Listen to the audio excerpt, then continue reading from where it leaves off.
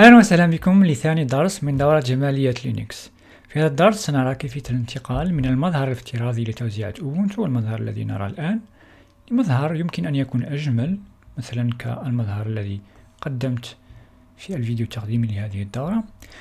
لكن المراحل التي سنمر فيها أو منها للوصول لهذا المظهر يمكن اتباعها للوصول لأي مظهر آخر يمكن أن تفضله نحن سنمر بثلاث مراحل أساسية هي مرحلة أولا التحميل من أين نحمل المكونات الأساسية؟ للمظهر وهنا أعني السمات والأيقونات من أين نحملها؟ ثم نعود نمر لمرحلة ثانية هي مرحلة نسخ تلك الملفات التي نقوم بتحميلها لملفات المناسبة لها في النظام. وفي الأخير آخر مرحلة هي مرحلة اختيار تلك المكونات لتكون هي السمات والأيقونات. المعتمدة من طرف النظام. إذا نبدأ في المرحلة الأولى من أين نحمل الأيقونات والسمات؟ في الموضوع الكتابي الذي يرافق هذا الفيديو ستجدونه أسفل الفيديو في المجمع وسأضع له رابط في وصف الفيديو على اليوتيوب لمن يشاهد الفيديو هنا على اليوتيوب. إذا ستجدون في الفقرة الأولى رابطين لموقعين يقدما سمات من سمات لينكس عموما وهنا وضعت رابط مباشر للسمات الخاصة ب GTK. وهي نقول الأداة المستعملة من طرف آه، أغلب توزيعات لينكس المعتمدة على GNOME للسمات إذا هناك موقع GNOME Look رابط مباشر للموقع أو لصفحة السمات الخاصة مثلا بأوبونتو وأغلب التوزيعات المعتمدة عليه والمعتمدة على جنوم ديبيان مثلا تجد هنا السمات يكفي الضغط على أحدها مثلا. هنا ستجد صور يمكنك الضغط عليها لتكبيرها. ستجد في الأسفل وصف أرشيف للتغييرات. وهنا تجد رابط للتحميل منه يمكنك تحميل السمة.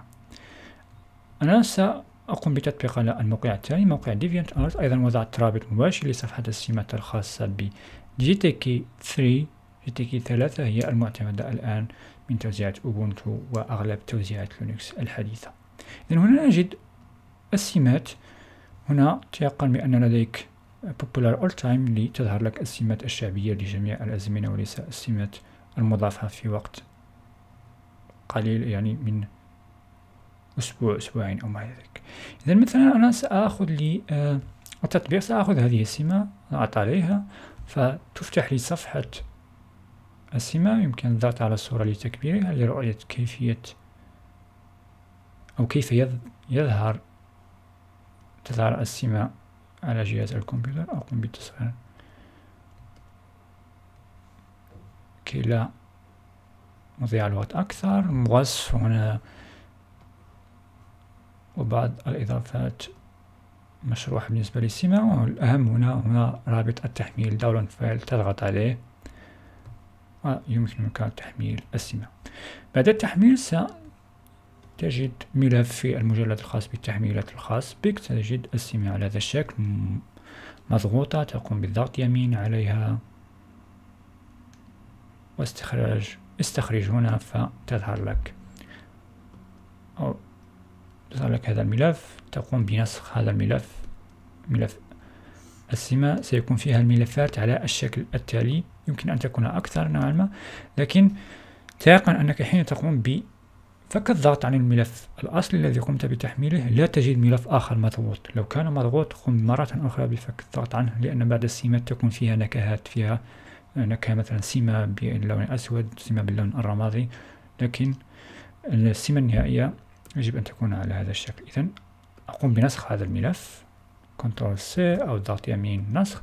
ثم أعود لمجلد المنزل. وهنا أظهر الملفات المخفية عن طريق الضغط على control H أو الانتقال لعرض وأظهر الملفات المخفية. وهنا أبحث عن ملف باسم point. عفوا. نقطة themes. وهذا الملف. وأقوم بنسخ الملف الذي قمت بلصقه هنا في يكون على هذا الشكل. طيب انتهى. انتهت المرحلة الثانية بالنسبة للسمات قمنا بنسخ السمة للمجلد المناسب لها. في حال لم يكن مجلد point themes موجود في مجلد المنزل فقم بإنشائه في مجلد المنزل ضغط يمين وأنشئ مجلدا جديدا وأعطيه اسم point themes dot themes نقطة themes وقم بنسخ الملفات الخاصة بالسمات التي تقوم بتحميلها إليه. بالنسبة للأيقونات نفس الشيء في الفقرة الثانية. أيقونات مثلا أدخل مباشرة لموقع DeviantArt الصفحة الخاصة بالأيقونات. نفس الشيء نتبع نفس الطريقة مثلا أريد تحميل هذه الأيقونات. أجد هنا آه، صورة رابط للتحميل أقوم بالضغط عليه والتحميل أو أو هنا أشير وأضيف وأؤكد أنه لو كانت هناك مخازن خاصة مثلا على هذا الشكل مخازن يمكن من خلالها التعامل مع الأيقونات على شكل برامج فذلك أفضل. مثلا هنا بدل تحميل الملف تقوم بإدخال هذه الأوامر في الطرفية فيتم إضافة مخزن لها تح... آه... تحديث النظام وفي الأخير تثبيت التوزيع الأيقونات ميزة هذه الطريقة هو أنك تحصل على التحديثات بطريقة مباشرة في حال قام مصمم هذه التوزيعات بإضافة تحديثات لها. لكن بصفة عامة نتعامل مع تحميل نقوم بتحميل ملف. ف نعود لملف التحميلات. تكون على هذا الشكل أيضا مضغوطة ضغط يمين استخرج هنا فتظهر لك آه، أين أنت؟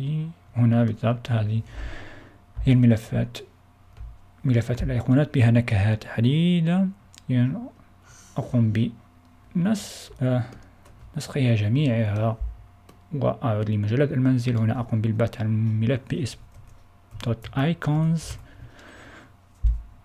هو هذا الملف. وأقوم بنسخ الأيقونات أو تلك المجلدات فيه. شيء آخر مهم. بالنسبة للملفات التي ننسخ بها التي ننسخ بها ملفات الأيقونات والسمات. لاحظنا الآن أننا قمنا بالنسخ في مجلد المنزل. هذا يعني أني لو كنت أستخدم جهازي مثلا أنا هنا مستخدم ولو كان هناك مستخدم آخر فلن يتمكن من استخدام هذه الأيقونات والسمات. إذا لو أردت أن تجعل هذه السمات متوفرة للجميع عليك الضغط على Alt F9 فتح Nautilus بالأمر gksudo nautilus تكتبه هنا gksudo nautilus لفتح Nautilus بصلاحية المدير هنا تدخل كلمة السر وبدل أن تقوم بنسخ الملفات في مجلد dot themes و dot icons تنتقل لنظام الملفات user share. وهنا ستجد ملف باسم times بالفعل times قم بنسخ ملفات السمات فيه وملف باسم icons. Icons قم بنسخ ملفات الأيقونات فيه إذن هنا نكون انتهينا وقم بغلق Nautilus كي لا تبقى قيد استعماله بصلاحية المدير إذن الآن انتهينا من المرحلة الثانية هي مرحلة نسخ الملفات للملفات المناسبة لها في النظام. المرحلة الثالثة يعني نريد الآن اختيار تلك الأيقونات والسمات التي قمنا بتحميلها كسمات معتمدة من النظام. لذلك سنحتاج لبرنامج أو هناك برامج عديدة لكن أنا سأستعمل هنا برنامج يسمى GNOME Tweak Tool يمكن تثبيته من مركز برمجية أوبونتو بالبحث عن Advanced Settings إعدادات متقدمة. قم بالبحث عنه قم بتثبيته سيكون على هذا الشكل. Advanced Settings. بعد التثبيت قم بفتحه من الطرفية. Advanced Settings. سيكون بإعدادات إعدادات متقدمة. هذا هو البرنامج. ننتقل مباشرة ل هنا فئة السمة. نختار أولا سمة GTK plus. يمكن أن نختار الترتيب الذي نريد لكن هناك ثلاث أشياء مهمة سنقوم بتغييرها سمة GTK plus هي السمة التي قمنا برؤية بعض السمات فيها آه في الموقع وقمنا بتحميل السمة نيكس من موقع DeviantArt مثلا. أقوم بالضغط على قائمة وأختار نيكس الذي قمت بتحميله. إذن هذه هي السمة التي قمت بتحميلها وسمة النوافذ. لاحظ أن هذه الجزء الأعلى الذي فيها علامة الغلق والتصغير لم يتغير. إذن أيضا أقوم باختيار نفس أو يمكن أن أختار سمة أخرى. يمكن أن أقوم بمزج بين سمتين.